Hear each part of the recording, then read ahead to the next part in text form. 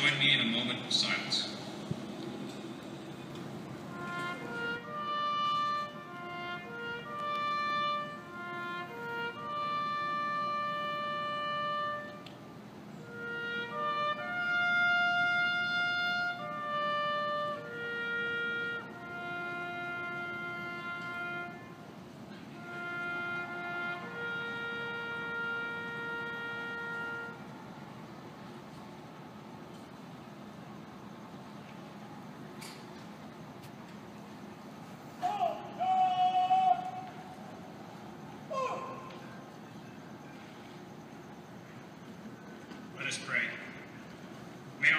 To remember with love and compassion this day.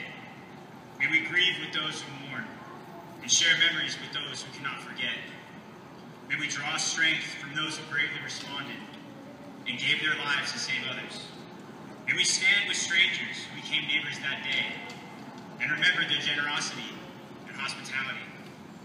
Above all, may we remember to keep our faiths and learn to love one another and trust in each other again.